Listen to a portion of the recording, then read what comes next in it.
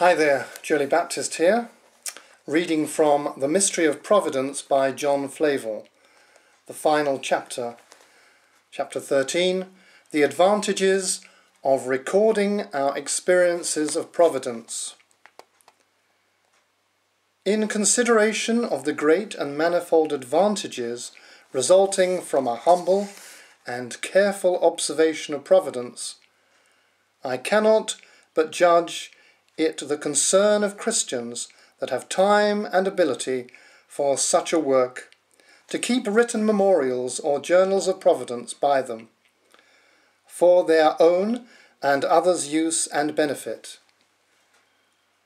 For want of collecting and communicating such observations, not only ourselves, but the Church of God is greatly impoverished. Some say the art of medicine was acquired and perfected thus. When anyone had met with some rare medicinal herb and accidentally discovered the virtues of it, he would post it up in some public place, and so the physician attained his skill by a collection of those posted experiments and recipes.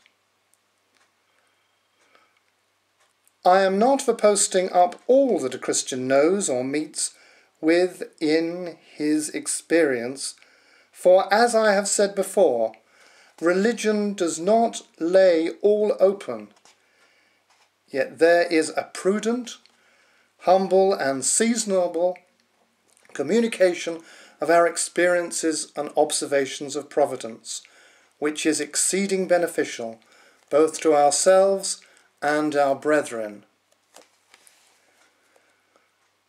If Christians, in reading the Scriptures, would judiciously collect and record the providences they shall meet with there, and, if destitute of other helps, but add those that have fallen out in their own time and experience, oh, what a precious treasure would these make? What an antidote would it be to their souls against the spreading atheism of these days? And satisfy them beyond what many other arguments can do that the Lord, He is the God. The Lord, He is the God. 1 Kings 1839. Whilst this work was under my hand, I was both delighted and assisted by a pious and useful essay of an unknown author, who has, to very good purpose, used many scriptural passages of providence, which seem to lie out of the road of common observation. Such passages I have noted out of it which have been sweet to me.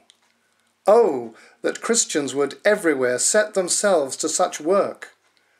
Providence carries our lives, liberties, and concerns in its hand every moment. Your bread is in its cupboard, your money is in its purse, your safety in its enfolding arms, and surely it is the least part of what you owe to record the favours you receive at its hands. Do not trust the, your slippery memories with such a multitude of remarkable passages of providence as you have, and shall meet with in your way to heaven. It is true, things that greatly affect us are not easily forgotten by us. And yet, how ordinary it is for new impressions to raise out former ones. It was, ne- it was a saying of that worthy man, Dr. Harris. My memory never failed me in all my life, for indeed I durst never trust it. Written memorials secure us against that hazard, and beside make them useful to others when we are gone, so that you do not carry away all your treasure to heaven with you, but leave these choice legacies to your surviving friends. Certainly, it were not so great a loss to your silver, your goods, and chattels, as it is to lose your experiences, which God has this way given you in the, this world.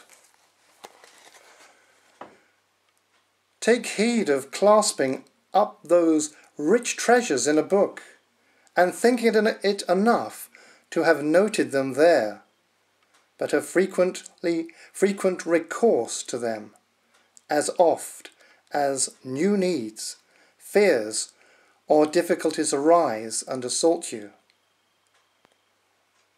Now it is seasonable to consider and reflect. Was I never so distressed before? Is this the first plunge that ever befell me?